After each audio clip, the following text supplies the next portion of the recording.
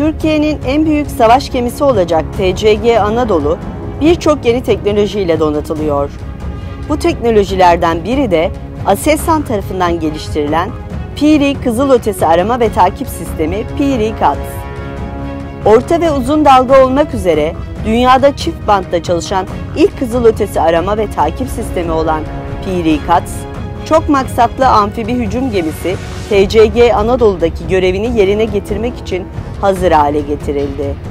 Piri CATS, TCG Anadolu'nun liman ve seyir durumunda tehdit tespiti ve takibi için en önemli sistemlerinden birini oluşturacak.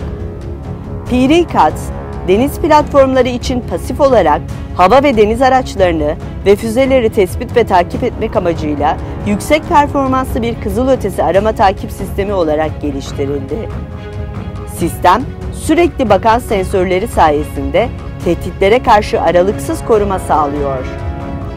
Piri CATS, Deniz Kuvvetleri Komutanlığı'nın ihtiyaçları göz önüne alınarak deniz platformlarına 360 derece farkındalık sağlanması amacıyla geliştirildi ve savaş yönetim sistemine tam uyumlu bir tespit ve takip sistemi olarak görev yapacak.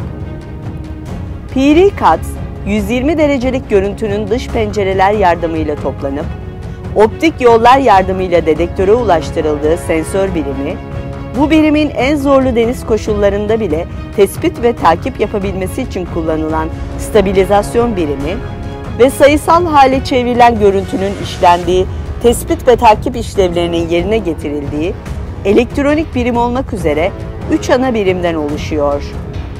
Gemiye yerleştirilen 3 sensörle 360 derece kapsama sağlayan sistem, panoramik olarak yarattığı görüntüyle farklı deniz koşullarında kullanıcıya pasif şekilde tespit ve takip imkanı veriyor. 5000'den fazla alt malzemeden oluşan sistem, özgün ve yerli optik tasarımı, aynı anda 150 hedefi takip edebilme yetenekleriyle Aselsan'ın sahip olduğu teknolojiler ve sunduğu ürünler açısından özel bir önem taşıyor.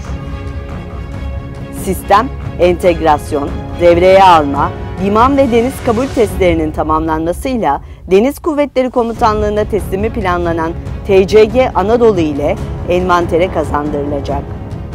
Piri Kats'ın Barbaros sınıfı firkateynlerin yarı ömür modernizasyonu projesi ve İ sınıfı firkateyn Milgem 5 projesi kapsamında da teslimi planlanıyor.